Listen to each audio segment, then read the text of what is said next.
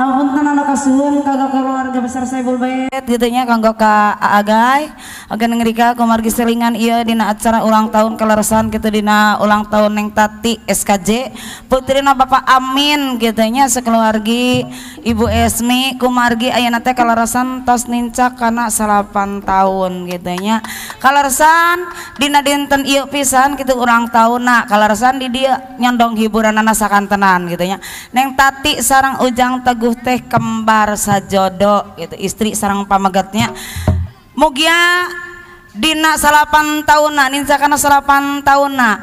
Kapayuna neng tati ngejalankan kehidupan nana sing mulus rayu berkas selamat cager bagerna mulus rahayu berkas selamat dibabarikan dina rezeki na dibabarikan usaha na gitunya apa na Bapak nak itu bohong dina ngolah seni na sing lancar dina icalan sing laris gitunya.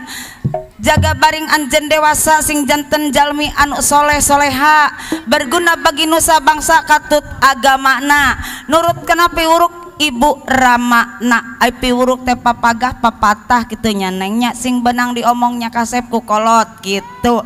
Tayin atas salapan tahun gerak senget dina lilina urang iring dina musik na gitunya sok ujang omat aa aa omat senger lilina.